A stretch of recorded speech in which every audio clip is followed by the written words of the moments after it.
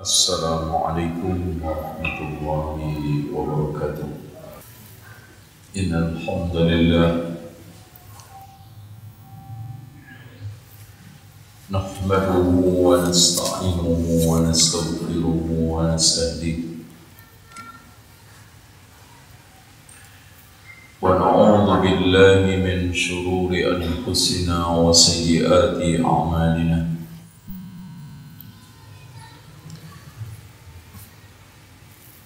من يهده الله فلا مضل له ومن يضلل فلا هادي له.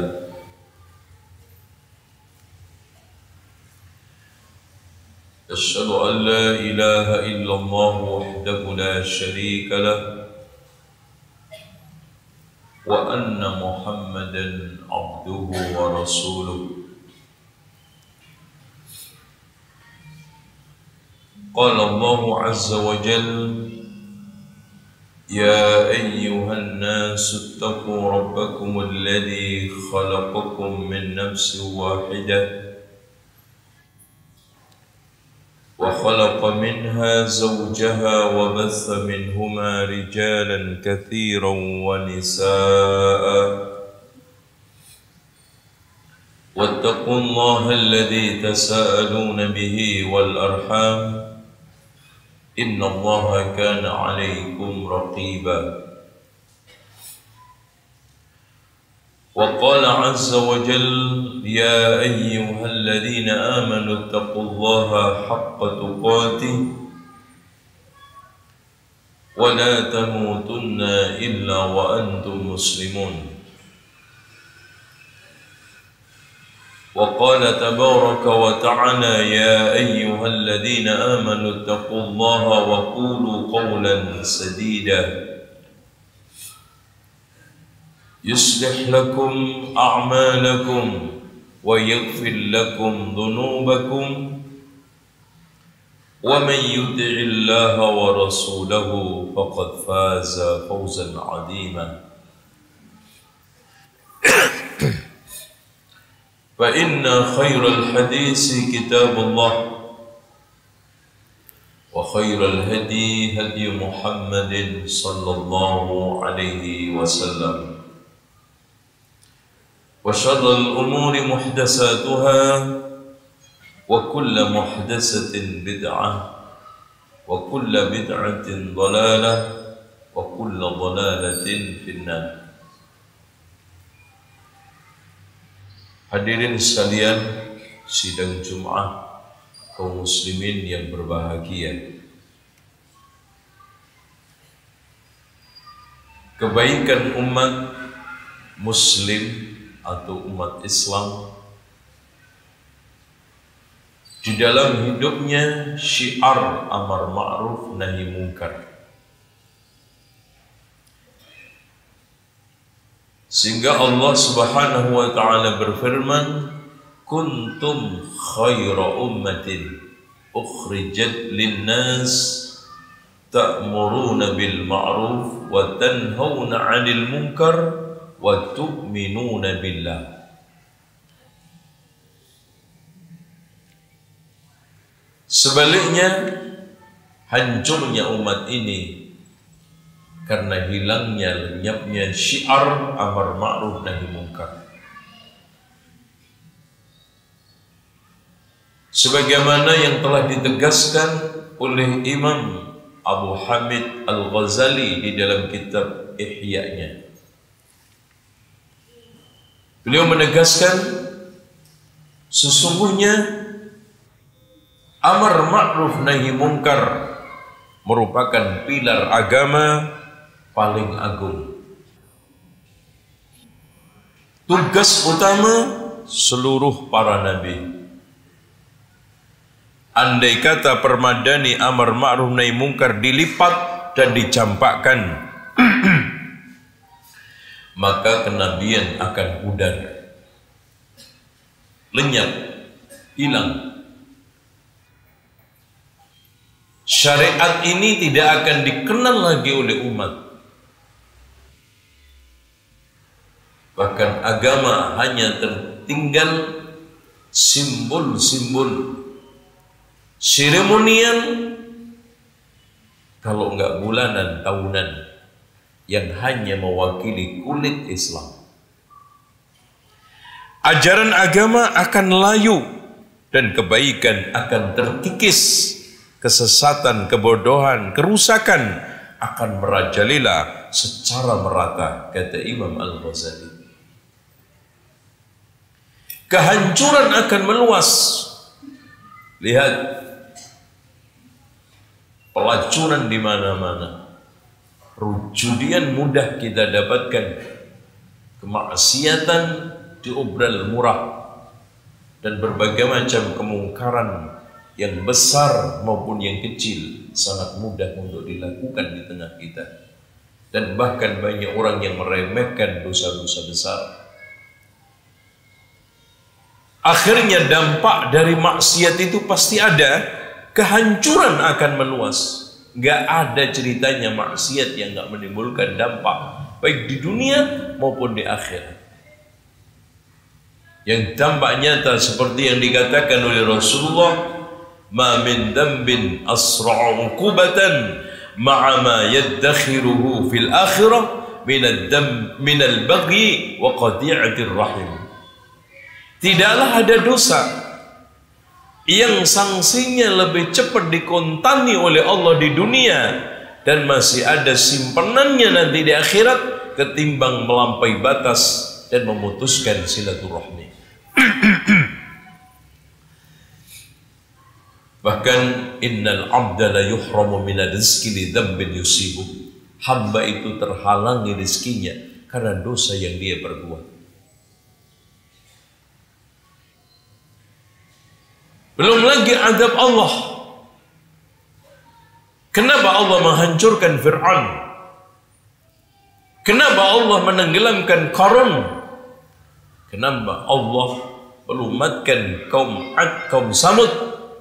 Dan kenapa Allah menghancurkan umatnya Nabi Lut? Bukankah itu semua rentetan dari cerita balasan dosa-dosa manusia yang dikontanin oleh Allah di dunia?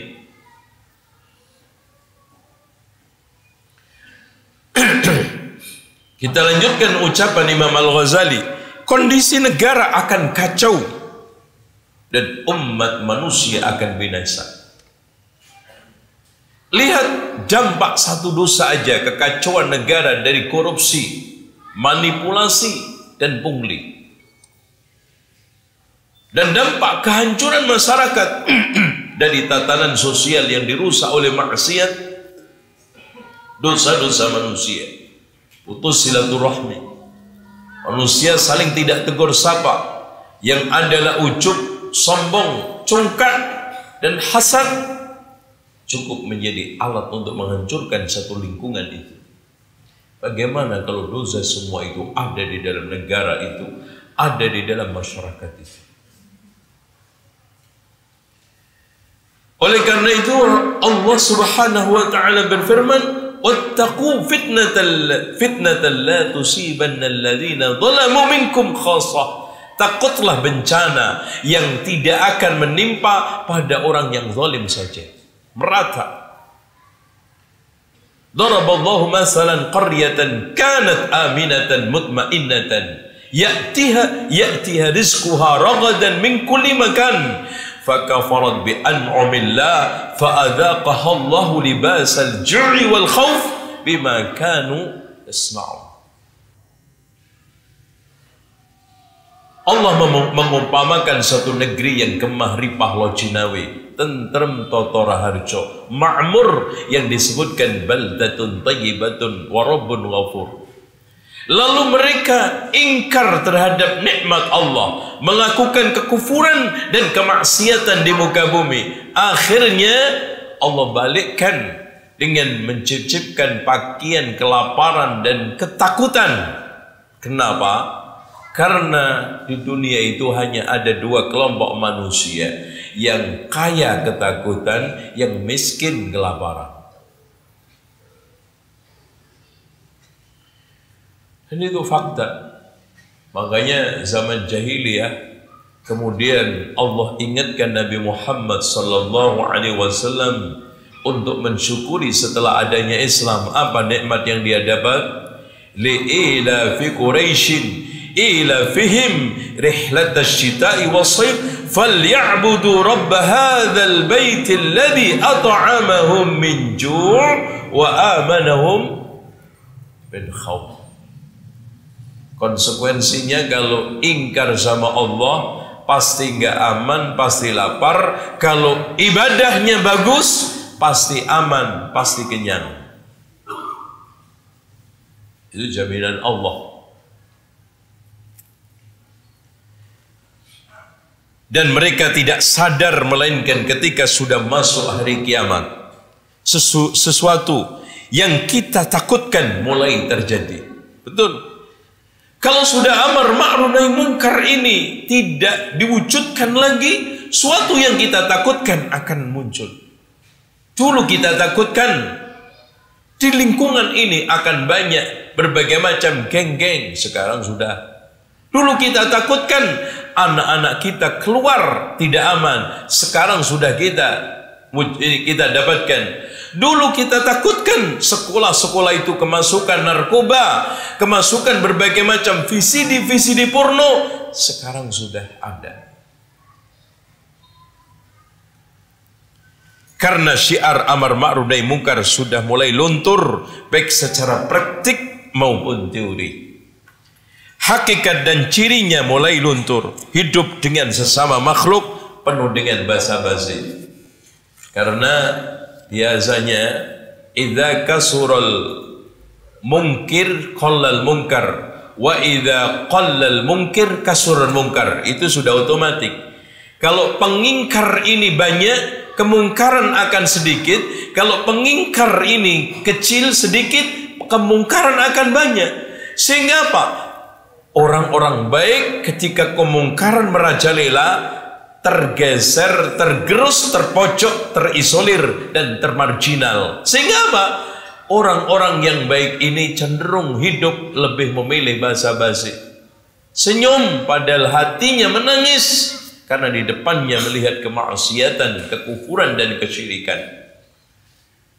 Dia mungkin wajahnya ceria, menunjukkan kerelaan, tetapi hatinya sebetulnya teriris-iris karena simbol-simbol agama dinodai Nabi dihujat simbol Islam dicela Al-Quran isinya diinjak-injak.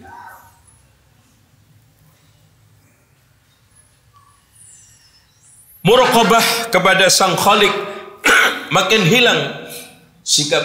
Jadi kenapa hadirin sekalian? Karena kita sudah tidak sensitif lagi terhadap kemungkaran dan kebaikan Bahkan dosa besar, besar kecil sama saja Pak. Bukan karena itu dosa yang besar mengecil. Dosa besar berubah tidak. Karena sikap batiniah kita yang sudah kebal tiap hari melihat kemungkaran, tiap hari melihat kemaksiatan, sehingga bandel, sehingga kurang sensitif lagi terhadap kemungkaran tersebut dan umat manusia semakin terjerumus ke dalam hawa nafsu dan syahwat bagaikan hewan ternak. Persis seperti kata Allah ulaika kal an'am bal hum adall. Apa yang dikatakan oleh Imam Al-Ghazali ini tidak bertentangan dengan nas bahkan Allah berfirman ulaika kal an'ami bal hum adall. Hadirin sekalian, efek kita meninggalkan amar ma'ruf nahi mungkar minimal muncul empat kemungkaran besar yang memicu seluruh kemaksiatan. Di mana Abu Sa'laba Al-Khushani pernah bertanya kepada Rasulullah, "Ya Rasulullah, apa makna firman Allah, 'Alaikum anfusakum la yadurrukum man dhalla idza tadaitum." Urusi diri kalian sendiri, tidak membahayakan kesesatan orang lain kalau kamu sudah mendapatkan petunjuk. Apa kata Rasul?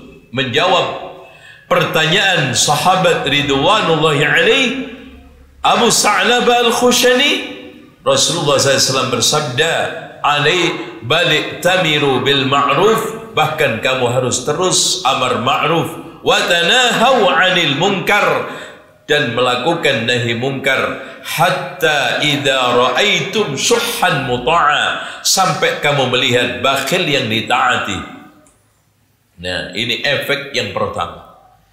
Ketika syiar amar ma'ruf nahi munkar sudah tidak kita temukan, masyarakat secara umum kena penyakit syuhan muta'a syuh itu bakhil plus kalau bakhil itu menahan dari miliknya sendiri tapi kalau syuh itu menahan dari bukan miliknya ada orang yang dikasih amanah harta, amanah jabatan yang harus melayani rakyat umum. Eh ditahan-tahan, syuh itu.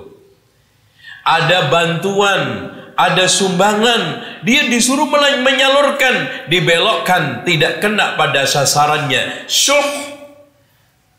Bahkan maaf, sekarang kita mendapatkan kebalikan. Banyak orang dermawan dalam kemaksiatan dan pelit di dalam kebaikan. Coba sekarang disuruh untuk mengeluarkan uang dalam rangka untuk bermaksiat kepada Allah. Tidak tidak sulit untuk mengeluarkan uang 100 ribu. Tapi kalau di masjid yang keluar paling gambar pedang Patimura. 5 ribu, gede-gede 10 ribu. Akhirnya apa? Masjid nggak jadi-jadi. Madrasah terbengkelai. Pesantren akhirnya apa? Tidak bisa jalan bahkan stagnan. Syuh yang kedua, wahawan muttaba'a, hawa nafsu diikutin. Allahu Akbar. Hadirin sekalian, hawa nafsu itu semuanya menghancurkan. Ya. Sik karena apa? Hawa nafsu itu sikap melampaui batas. Namun kalau sikap melampaui batas di dalam masalah dunia namanya syahwat. Makanya Allah berfirman, "Zuyyina lin-nasi hubbus syahawat minan nisa dan seterusnya. Kalau sikap melampaui batas di dalam masalah agama namanya hawa nafsu. Makanya Allah berfirman, "Wa amma man khafa maqama rabbih wa nahan nafsa 'anil hawa fa innal jannata hiyal ma'wa." Dan itu semuanya lawan daripada Islam, lawan daripada wahyu. Makanya Allah mensifati Rasulullah, "Wa ma yantiqu 'anil hawa in huwa illa wahyun yuha." Rasul itu tidak berbicara atas dasar nafsu, akan tetapi wahyu. Makanya orang itu kalau beragama berbicara atas dasar nafsu bawaannya adalah kebatilan kesesatan dan siapa yang berbicara atas dasar wahyu pasti kelurusan kebenaran dan kebaikan. Insya Allah. Oleh karena itu hadirin sekalian Allah memberikan teguran sama kita. Fa in lam yastajibu laka fa'lam annama yattabi'una. Kalau mereka-mereka itu tidak mau memenuhi peng, pem, ajakan kamu Muhammad, kalau mereka-mereka ini tidak mau memenuhi ajakan dakwah kamu, mengikuti syariat kamu, ajaran kamu, ketahuilah sesungguhnya mereka mengikuti hawa nafsu mereka. Hawa mutaba'ah Menikah dasarnya nafsu. Jual beli dasarnya nafsu. Bermuamalah rumah tangga dasarnya nafsu. Bertetangga dasarnya nafsu. Bahkan dalam beribadah pun dasarnya nafsu. Subhanallah. Yang ketiga, dan ini runut. Kalau sudah muncul zaman yang pertama, kedua, ketiga, wa dunyan muksaratan, dunia diutamakan Dunia menjadi pendekar, dunia menjadi penentu seluruh aktivitas kehidupan. Sekarang apa yang tidak ditentukan oleh duit? Hukum ditentukan oleh duit. Ilmu juga diatur oleh uang, kekuasaan juga diatur oleh uang, apa saja. Bahkan uang adalah raja di raja. Dengan demikian, tunyan muksaratan ini akan mengakibatkan penyakit yang keempat wa ijabi kulli ra'yin bi ra'yi. Orang bangga dengan pendapatnya sendiri ra'yunya sendiri. Kenapa karena kalau sudah mengutamakan harta dan nanti cenderung menghalalkan segala cara dan tidak mengenal halal haram, akhirnya kalau ditunjukkan Quran Sunnah, qala Allah, qala Rasul dan juga petua-petua ulama dimentai yang ada apa? Menurut nafsu saya, perasaan saya dan pendapat saya yang jalan. Ini halal, ini haram. Ini boleh, ini enggak boleh. Dan naasnya Pak sekarang, yang haram itu yang nggak kena. Semua yang kena halal. Ini subhanallah. Memang di akhir zaman nanti orang mencari harta tidak memperdulikan dari mana apakah halal atau haram. Sayati 'ala an-nasi zamanun la yubali al-mar'u mimma akhadha min mal min halalin au min haram. Nanti akan datang suatu zaman orang tidak akan memperdulikan lagi di dalam mendapatkan pemasukan materi apakah dari halal atau haram. Padahal pertanyaan harta itu ada dua dari mana dan dikemanakan.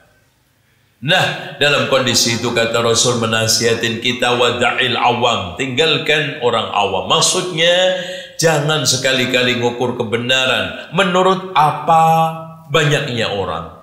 Menurut komentar orang, artinya wa in tuti aksara man fil ardi yudilluka an sabilillah. Kalau kamu mentaati kebanyakan orang, mereka akan menyesatkanmu dari jalan yang lurus. Artinya, dengarlah Allah dengan baik-baik. Dengarlah Rasul dengan baik-baik. Dengarlah ulama dengan baik-baik seperti yang telah diarahkan oleh Allah. Wa idza ja'ahum amrun minal amni awil khawfi adzau karena orang awam itu kata Allah ketika mendapati suatu masalah gaduh ya ricuh ya tapi enggak bisa menyelesaikan masalah.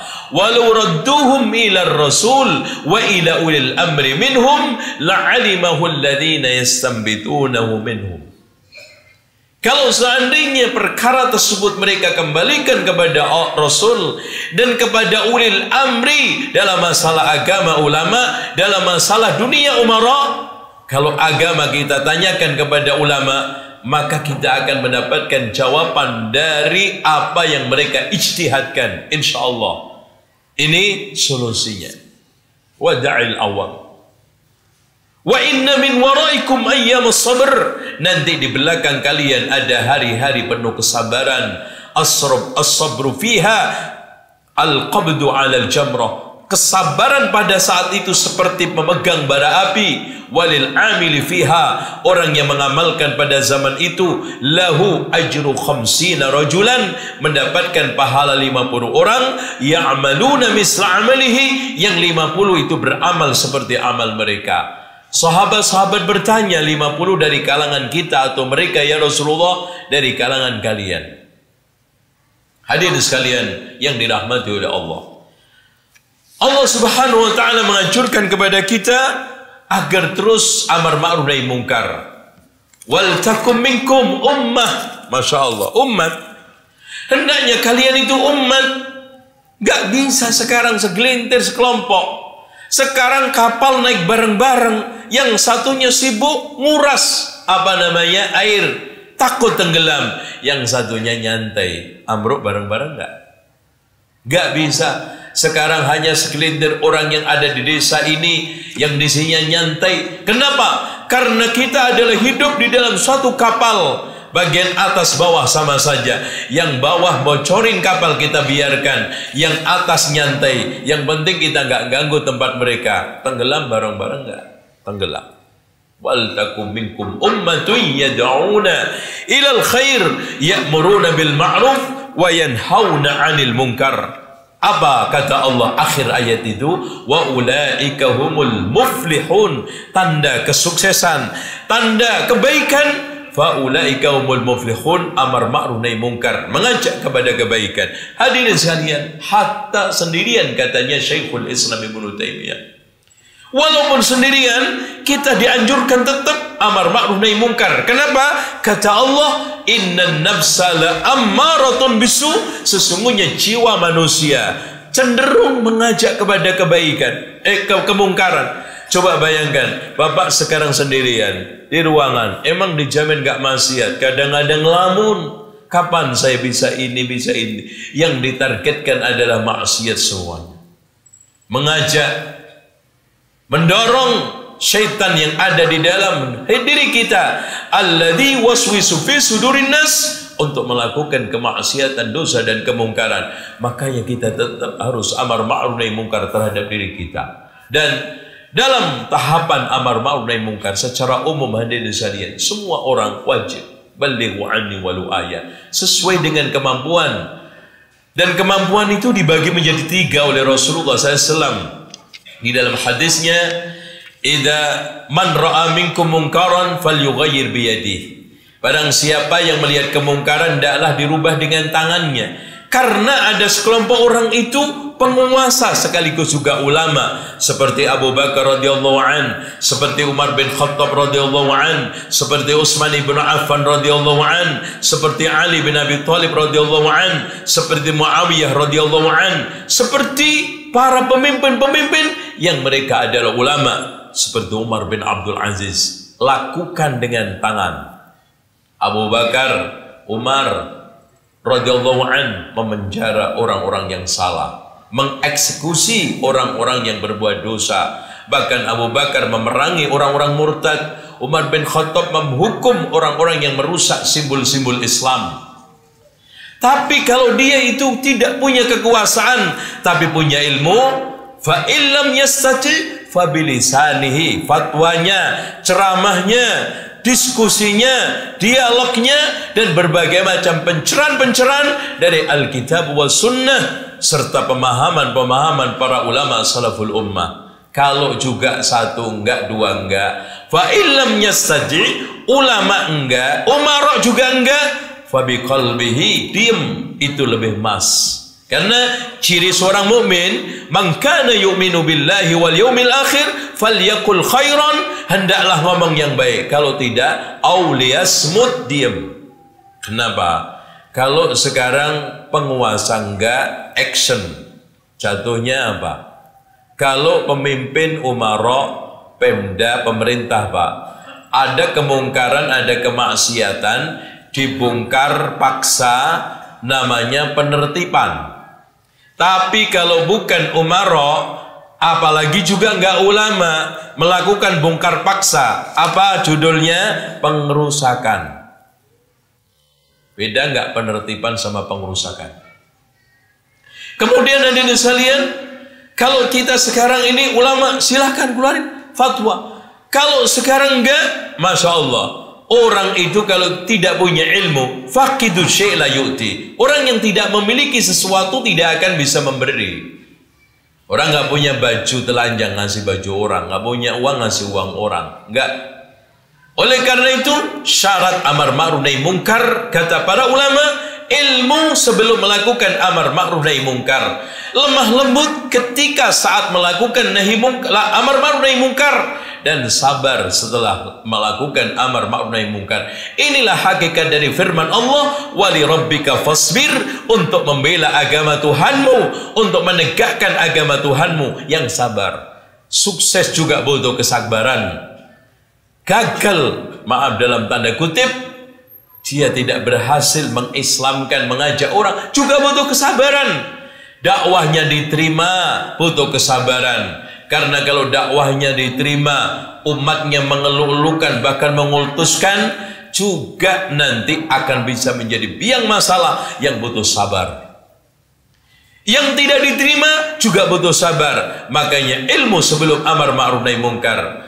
Lemah lembut ketika amar ma'ruf nahi mungkar dan sabar setelah amar ma'ruf nahi mungkar. Inilah hadirin sekalian yang bisa saya tekankan dalam khutbah yang singkat ini khutbah Jum'ah Mudah-mudahan bermanfaat. أقول قولي هذا واستغفر الله لي ولكم واستغفر الله العظيم إن الله الغفور الرحيم الحمد لله الذي أرسل رسوله بالهدى ودين الحق ليظهره على الدين كله ولو كره المشركون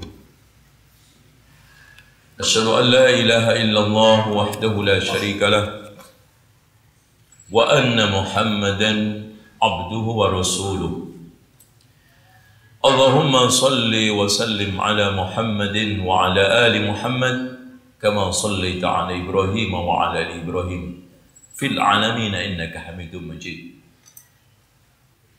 وارض اللهم عن الخلفاء الراشدين أبي بكر وعمر وعثمان وعلي وجميع الصحابة والتابعين والتابعين التابعين وجميع المسلمين.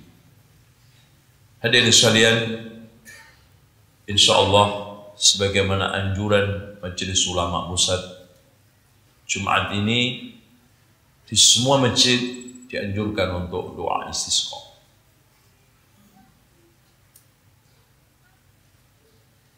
Sebagai bentuk menghidupkan sunnah Rasul dan ketaatan kita kepada ulil amri dan plus mudah-mudahan yang kering Allah basahi. Yang sekarang sudah layu Allah segarkan lagi dengan turunnya hujan. Allahumma salli ala Muhammadin wa ala ali Muhammad walhamdulillahi rabbil alamin. Allahumma aghisna ghaisan mughisa. Allahumma aghisna ghaisan mughisa.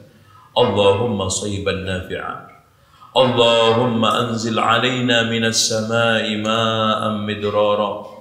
اللهم اجعل اللهم أنزل علينا من السماء ماء مدرارا. اللهم أنزل علينا من السماء ماء مدرارا. اللهم لا تجعلنا من القانتين. اللهم أنزل علينا من السماء ماء مدرارا. اللهم أغثنا غيثا مغيثا. اللهم أغثنا غيثا مغيثا. اللهم حوالينا ولا علينا اللهم على الآكام والضراب ومنابد الشجر والأودية.